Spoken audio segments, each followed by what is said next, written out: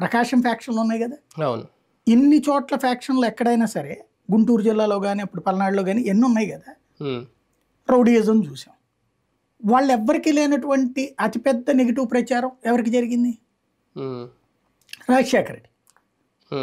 రౌడీయిజంలో కోస్తా జిల్లాలో ఎంతో మంది మీద పేరుంటే ఉమ్, రంగాని మాత్రం ఎందుకు నెగిటివ్గా ప్రచారం చేశారు? రంగా మాత్రం రౌడీ ఎందుకు అయ్యాడు? ఇవాళ అదే రంగా దేవుడు అవలా? ఉమ్, పత్రికలు ఆ రోజున రాసింది ఏంటి రంగాని? రంగా తర్వాత జరిగిన హింసాకాండని ఏమని ప్రొజెక్ట్ చేసినాయి. అతను ఒక విలన్గా చూపించే ప్రయత్నం చేశారు. కానీ అప్పటికి వీళ్ళిద్దరితో పోల్చుకుంటే ఈయన పొలిటికల్ లీడర్ రాజకీయ నాయకుడు. ఆయన అప్పటికి ఇంకా రాజకీయ నాయకుడు కాదు రంగా. లేదు. రంగా రాజకీయంలో ఉండగానే చనిపోయింది. అవును రాజకీయం ఎమ్మెల్యేగా ఉండగానే ఉండగానే చనిపోయింది. అంటే ఈ ప్రచారం జరిగినప్పుడు ఈయనతో పోల్చుకుంటే ఆయన తర్వాత వచ్చారు కదా. అనేది. విష ప్రచార బాధితులు అంటున్నారు. ఇద్దరు ఇద్దరు ప్రజల మనుషులు. ప్రజల కోసం ఉన్నటువంటి వాడు.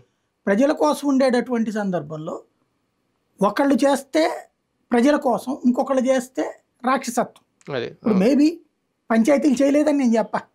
అవును. ప్రతి నాయకుడు పంచాయతీలు చేస్తారు. ఒక నాయకుడు చేస్తే పంచాయతీ లోక కళ్యాణం కోసం ఇంకొక నాయకుడు చేస్తే అది ఫ్యాక్షనిజం అనేటువంటి ఒక సంస్కృతి ఆనాడు నుండి నడుస్తూ వచ్చింది మనకి. ఒక రకంగా పంచాయతీలు కూడా వారసత్వంగా వస్తుంది అది వచ్చినాయి. వచ్చింది. అది ఒక ఎత్తు. సరే అతనికి ఆ కారణంగా మీరు అన్నారు చూడండి ఇందాక.